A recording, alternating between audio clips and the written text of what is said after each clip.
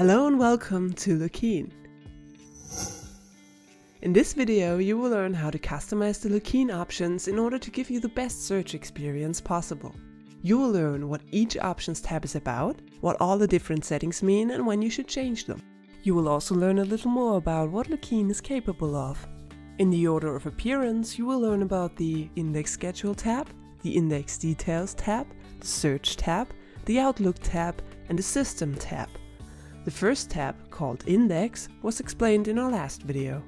If you want to skip one or several tabs, feel free to click on the index cards, which we show throughout the whole video on the right edge of the screen.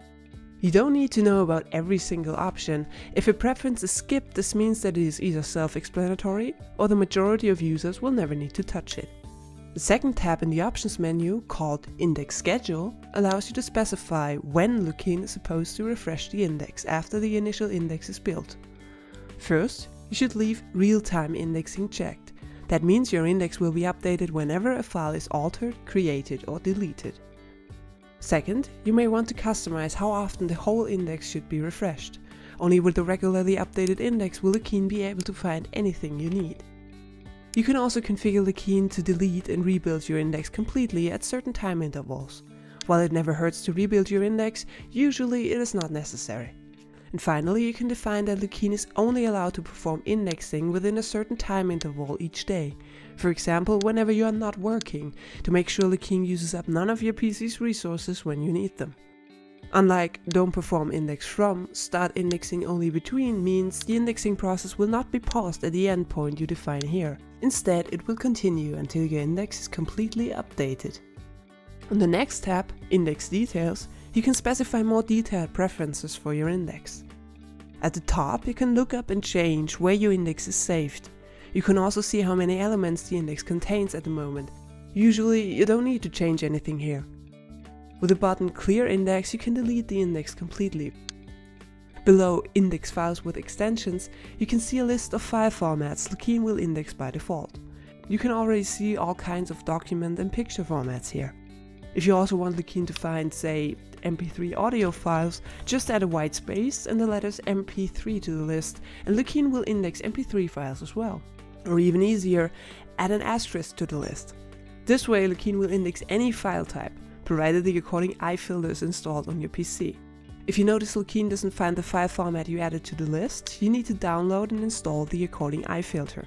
Several websites offer free iFilters. Just type iFilter download and then the desired file extension, in this example MP3, into your favorite search engine and you should find some results quickly.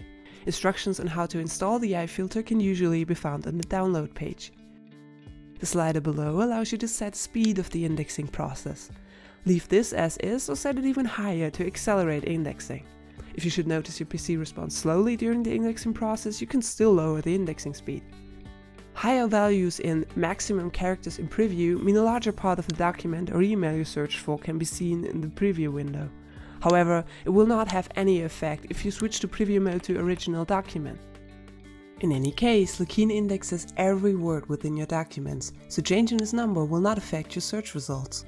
Higher values may slow down indexing a little bit. In the tab Search, you can find various settings to customize your search experience individually. For most users, the default settings should be satisfactory. But maybe you want Lookeen to display more search results.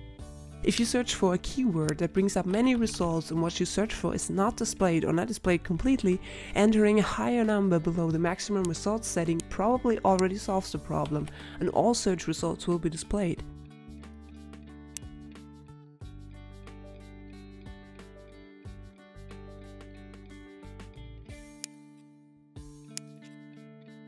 In the Outlook tab, you can define settings specifically for Outlook. If you deactivate index attachments and activate skip junk and deleted folders, Lookeen will need less time indexing, but you may not find everything you're looking for. Skip encrypted items will make sure Lookeen can perform indexing without interruption. Note that signed emails also qualify as encrypted items. If you are not certain that you need to look into encrypted files, leave this option activated. Otherwise you'll have to manually confirm that Lookeen is allowed to access encrypted files during indexing.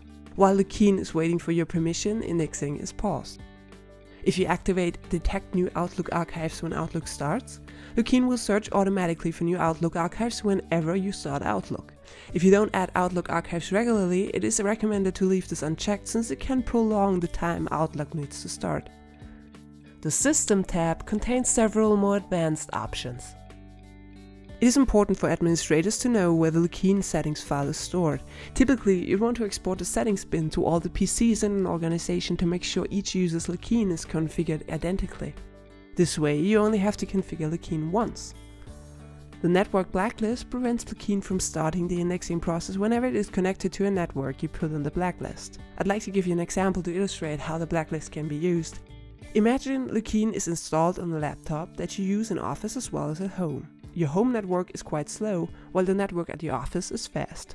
Your business emails are stored only on your company's Exchange server, and there's no local copy on your laptop. Obviously, whenever Lookeen refreshes your index, it would use up precious bandwidth while connecting to the Exchange server. Using your fast office connection, this is not an issue, but once you're at home, you'll notice that Lookeen takes a lot longer to index, which can slow down your work with Outlook and Lookeen. If you want to prevent this or similar problems, just click Choose Networks while you're connected to the slow network, in my example at home, and click Yes. You can add multiple networks by separating the network names with a semicolon. You can disable the entire blacklist temporarily by unticking the checkbox. Or take one or all the networks off the list permanently by selecting the network name and hitting delete on your keyboard.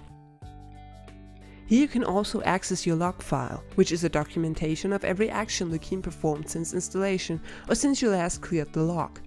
This can be useful if you are in contact with a support team and are asked to send your log file or if you want to do some troubleshooting yourself. It is strongly recommended to leave check for updates on, only this way you can be sure that Lookeen is patched to the newest version. And that was the last option you need to know about. That was a quick explanation of the Lookeen options. If this video helped you find your way around the Lookeen options better, don't forget to give it a thumbs up. If some of your questions are still unanswered, you can check the user manual or our collection of frequently asked questions on the Lookeen homepage. You will find the links in the description below. Alternatively, fill out the support form at the link provided below or simply leave a comment on this video. We'd be happy to help. Thank you for watching this how to customize Lookeen options video.